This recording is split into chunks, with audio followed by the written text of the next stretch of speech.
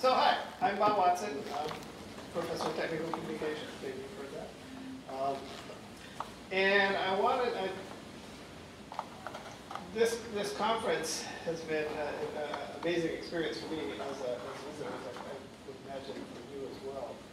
Uh, any writing conference that talks about API usability rises quickly to the top of the list. That's one of the things I studied in my master's program, so it's like, right here. Uh, but the.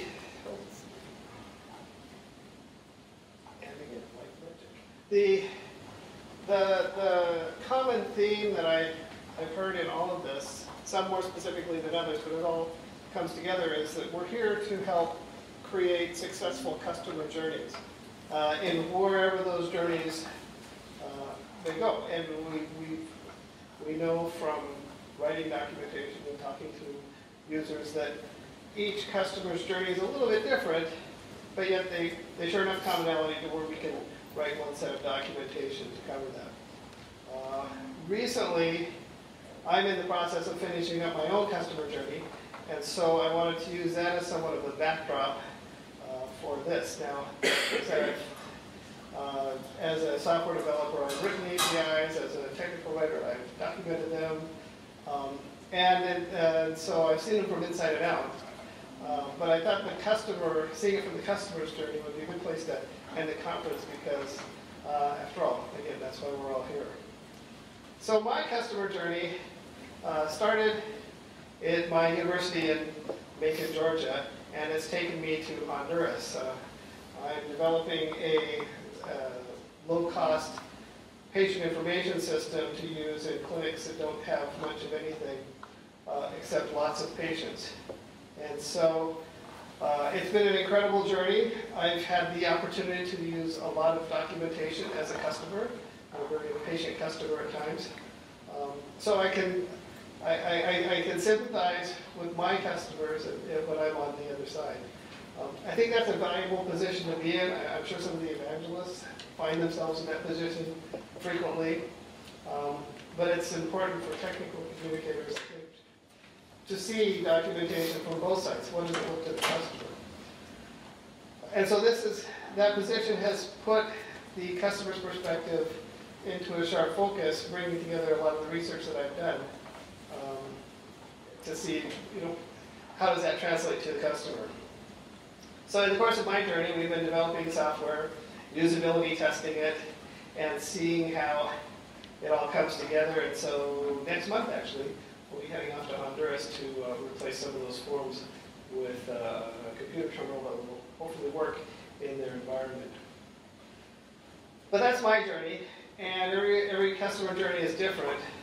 And again, we're here to help make it successful. But I think one thing we can all agree on is that the API docs that we write are there to help customers navigate that journey. That's why we're here. And so I want to talk a little bit about that and kind of what that journey looks like through the documentation. And so I want to talk about some funnels and pyramids. Um, not these funnels, not that pyramid, that's kind of cool. Um, but let's start with the conversion uh, funnel. This is, a, this is the popular one, we've seen a lot of that. Uh, its goal is to, through awareness, developing interest, creating desire, to cause some sort of action. The compelling thing about this funnel is that it results in action, and an action that's obvious and measurable. And that's great. Unfortunately, that's not what the rest of the documentation does. Uh, the rest of the documentation starts to get a little more interesting. I like to call it. Uh, starting with the landing page where you have a very focused concentration of content, it starts to diffuse through very, you know, hello world, maybe a couple of hello world-like examples, into a handful of tutorials, and then into this vast sea of reference content. And so once they come into the landing page and the portal and they start to get to know your, uh, your API, where does success end up? It's unlike the incoming funnel where boom, they clicked subscribe or sign up or whatever. That's the, the metric of success for that process. But after that, where does, where does it go? and that's where the, the the variation, the various customer journeys start to become harder to follow. But they're important, you know, again, as they diverge through uh, the, uh, the, the incoming funnel, and they go into the, I, I call it initially the inverted funnel because kind of keep the funnel thing going there, but um, I think I like the pyramid one better because where we're going is the foundation of the document set. So funnel success comes in, easy to track. Customer success occurs in all kinds of different places. And so the where I'm going to spend the rest of the talk is talking about the reference content. Again, something that's near and dear to my heart. Not only as a researcher who's studied it, and a developer who's, I don't know, inspired it to be written by other technical writers, um, but as someone who, you know, literally in my, my customer journey, I can say, I didn't count this unfortunately because I have things to do, but I'm going to guess 95% of my documentation references were reference content. Um, I already had been um, attracted and came through the funnel some time ago, and so now I had something to do. I, I needed to get my work done. I needed reference topics to help me through that. And so in this last couple of years, I think it's safe to say a good 95% of my documentation accesses were for reference content. I needed to look something up to get things done. So let's talk about value.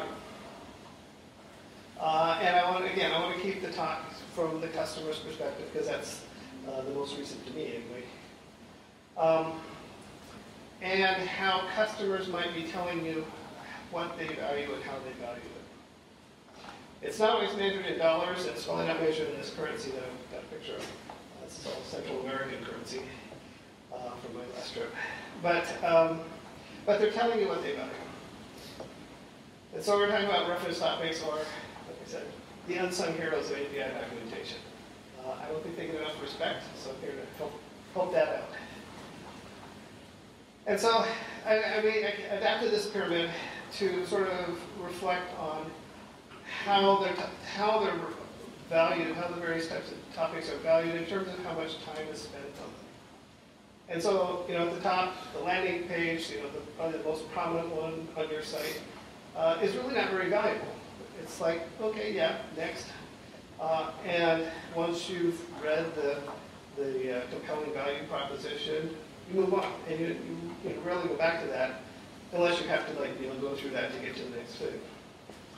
Uh, you go to the Hello World page, to go through the, the demo, but once you've done that, on to the next thing. You know, who goes back, oh, let's do the Hello World problem again. Like, that was so much fun. Um, I so then you go to the tutorials and learn how to adapt this to your problem. But once you kind of have a handle on how things work, you're into the reference topics, you know, to the extent you're back into the documentation, oh, because that's where you're going to fill in the blanks. Now, a lot of tutorials, and we've, we've heard some talks about this, you know, make it easy to copy and paste, or you have the examples. So, um, you know, it's not exclusively the reference content. And thinking back on my project, I probably copied and pasted a couple things too. Um, but, uh, said, after, once you kind of get a handle on know what it does, how it can do it, then it's down to kind of get to work and actually do it. So some of the, so this, these are some examples of some of the research I've done in reference topics. Uh, and most recently, a, a study came out uh, that showed for in the documentation, reference topics were spent where the uh, developers in their study spent the most time. Um, Interestingly, I think one, of the said uh, half of development is Googling. Well, there's some, uh, there's some evidence to support that claim. Uh, in this case, 49%. But uh, the, in this study, they, they studied developers you know, doing development tests in coding, and so about half the time they spent coding, and half the time they spent looking stuff up. And of the things they looked up, they broke down the different types of documentation. You can see how the uh, welcome page is down there at the pointy end of the time. Uh, on up to the reference topics and the recipes or the how-to topics. So, uh, not just me, apparently other people spend some time with reference topics. And so, I think that's an important thing to keep in mind, that even though, you know, it's maybe not the most glamorous part of the site, it seems to be one of the, the more popular. They spend a lot of time there.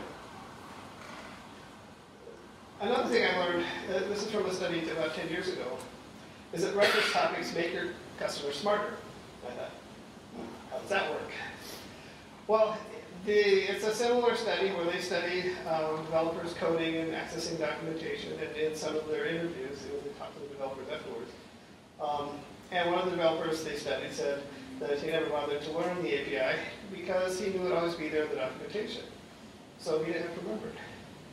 And so the researchers concluded from that, you know, that study, or one of their observations was they thought that by having you know, accurate, comprehensive the reference topics, uh, developers could essentially distribute that part of their knowledge amongst the help topics.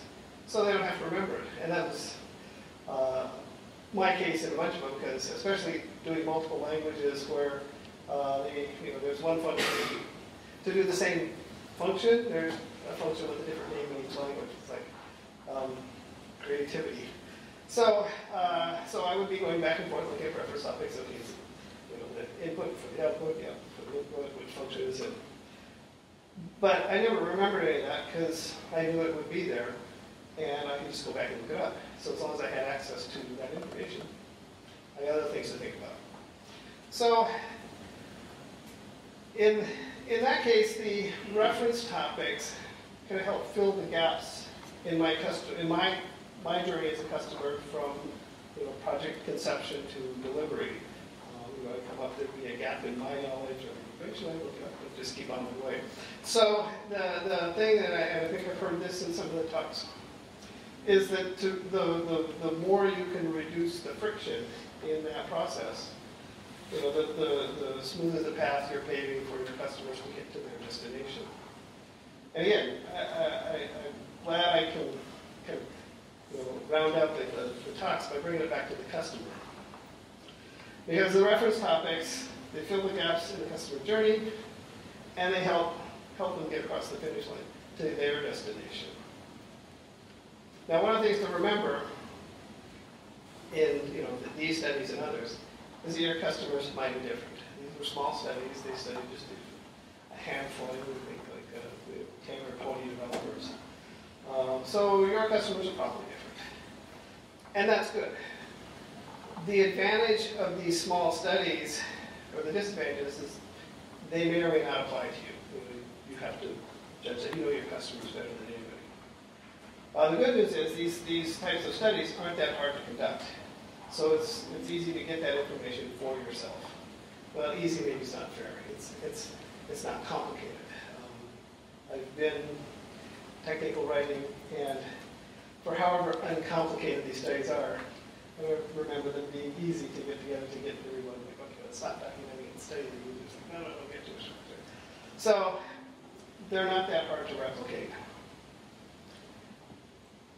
But the, the, the, important thing that's kind of, that's been a common thread in all the research I've studied, uh, done on reference topics, is they, they show how much you care as writers and as companies and providers, how much you care about their success. You're not paving the first half of the road, then leaving a dirt road for them to follow to get to their destination. The more you can pave that road all the way to where they're going, wherever that is, the more, as a customer, it's like, hey, they were thinking of me. Okay, maybe not me, but they were thinking of my challenge. And they, they, by paving this path of documentation, I was able to get to my destination without having, to, without having to lock in the house and put it in four-wheel drive. Um, and if you've ever done development, you know what I'm talking about. Like when you say, okay, here I'm developing my code, go away, look it up, and go, and all of a sudden, breaks. Now I gotta like reverse engineer somebody's API because the documentation isn't complete. So it's like, all right, back it up, get out the winch, pull yourself through the mud, and you know, hopefully find some traction on the other side where you can get back uh, on the road. but that process, you know, who's familiar with flow and the notion of getting into flow, that's kind of a developer thing. When you hit that, you know, with frictionless API documentation, you can stay in that state of flow. You can just look it up, do back, and do the work. When you have to, when the documentation lets you down as a customer, now, like I said, you have to like stop, you get out the winch and pull yourself through that documentation free zone. Um, then it takes a much longer time to get back to where you were. So one of the things that I found, you know, in studying API documentation is that, you know, a, a, a 20 or 30 second interruption is enough to cause a 20 minute reduction in productivity. So just because, oh, it only took five seconds to look it up, yeah, I'm gonna take 20 minutes to get back to that spot where I was. And so, you know, again, frictionless paving that path to help customers get to their destination really has a lot of value. And to me, that's, um, you know, as a customer, the faster you can make me work, the better I think your, about your product. But, you know, we're here, we know that your API docs show how important your success is. So it's not just reference topics, I get that. It's the whole package, you know, the whole, paving the road to success, you know, isn't just the beginning, middle, or end, it's the whole thing. And so, your customers travel many paths. You need to know what those paths are. And, uh, you know, as I remember as a technical writer, that's probably the hardest thing, is to know those paths. You know, uh, the, the closer you can get to the customers to know the paths, as evangelists, I think, have the advantage there. Uh, As a technical writer, we were always, uh, in the, in the jobs I had, one or two people removed from the customer. And so that put us a bit of a disadvantage. But the more you know the problems your API solves, how your customers interact with your docs, how they write the, the code, the better you can uh, be where you need it. And so your customers are probably different. So you need to know this for yourself. And, you know, and, and one of the things that I found really uh, great about today's conference is that between the speakers, we've been given a lot of different ways to do that. Um, the, the one, that near to my heart was the uh, API usability of this talk. It's, like, if only we had more of that. So one of the things that uh, in, in, in thinking about, you know, how can you learn more about your customer's journey, you know, if you're like in the sequestered technical communication job that I was. Um, I got to thinking like we, we have, you know, who, who's seen this? I did this documentation help. As documentation, we love to know that. But really, I thought, well, what if we, how would you approach that from the customer's view? Um, what if you asked, you know, yeah, are you considering this API? Are you shopping? Are you starting a project? Are you finishing? How, how about finding out where they are in the process to know where your documentation is being used? I think, you know, if you can't get out and talk to them, that asking about their, um, you know, their process uh, will give you a lot of information and like, hey, they do care about my success. So it's important to be where your customers will lead you, and it's important to know where that is. So we've also heard about automation. Uh, you want to, because this, you know, reference topics can be a lot of work, especially good reference topics, as some of our, our, our previous speakers have said. And so it's important as technical writers to make the authoring tools work for you. Um, I've worked with a bunch of authoring systems. Some I had to work for them, others work for me.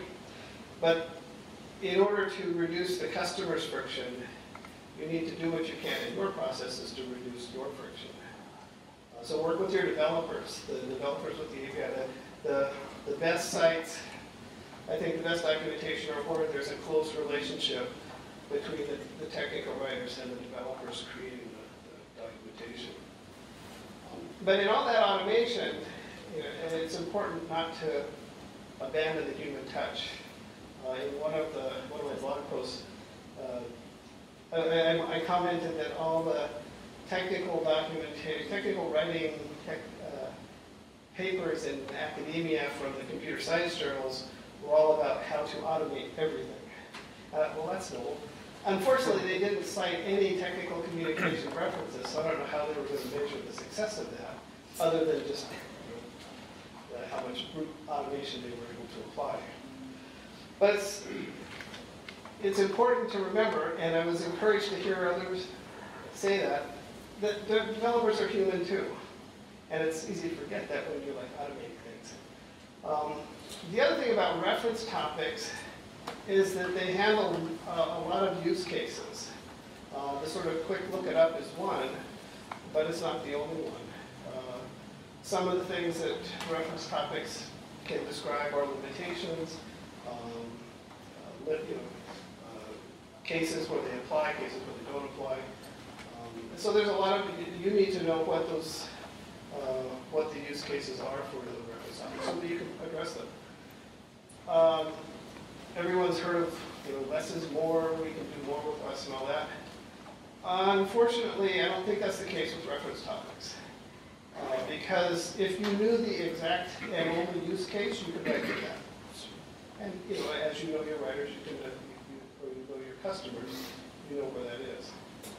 But invariably, you don't know all the use cases, and so it's better to err on the side of more content to handle more use cases than not.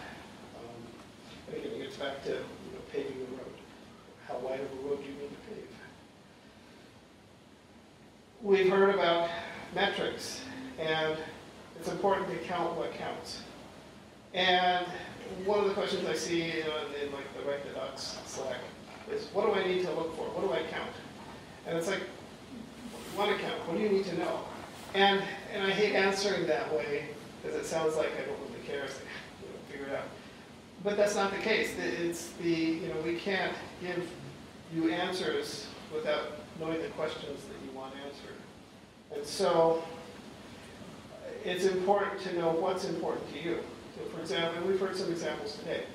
Uh, if you want to know, are people seeing your site? You know, count how many times people have opened the page. You want to know who signed up for your site, count signups. Uh, if you want to know who's been successful with your API, count uh, you know, successful API utilization. But know what you want to count, know what's important, and then be sure to count that. And, you know, one size doesn't fit all. Uh, monitor the, uh, and, and, this is one thing that I, that I found out uh, over, over time after looking at a lot of statistics, is that monitoring individual page performance pretty much across the board is good to tell you if there's problems. Uh, in a few cases, it's good to tell you if there's successes. Um, you know, some, if some pages are being viewed a lot, then like, why would anybody look at that? Uh, you know, maybe there's something that search is sending them the wrong way. Uh, on the other hand, it's like, um, you know, if nobody's looking at topics that you think should be found, that's important to know too. But knowing that lots of topics are being seen lots of times, um, I think you need to ask a more specific question. Uh, and, and being seen doesn't always mean being helpful, being useful, or being what they need. So there's other metrics to apply. With reference topics, uh, it's unfortunately common, from what I've seen, that they look at individual reference topics as they do individual landing pages and help uh, tutorials. And I don't think that's really appropriate because uh, in a lot of cases, I think it's better to consider a, a reference topic set as more of a multi-page topic, you know, one topic that's addressing a, a, question across multiple pages as opposed to a tutorial topic that's answering a specific question of how do I do X. And so I think it's better to look at the use and the value of reference topics across the set, you know, the set that makes sense for your particular project to say, you know, okay, this set of topics is being used as opposed to just this page, because that's not really fair. Um, you're going to hit individual pages depending on your content structure, when really that is telling you about the, the set as a whole. So, to wrap this up, take this with you as you go home. Uh, Know your customers' journeys. We've heard lots of different ways to do that, that's, that's amazing. Be where your developers need you, and be there with what they need you. Automate as much as possible so you can just leverage your, uh, efficiency. And track the analytics that matter, and know what those are. Uh, After all, go to get the customers to your portal, but then you go through the portal to get them on the way to the destination. So, thank you, and uh, everyone have a safe trip home.